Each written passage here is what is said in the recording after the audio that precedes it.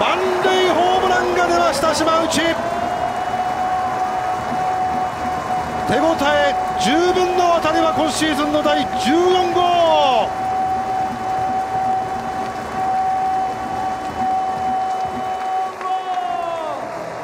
打った瞬間という当たりは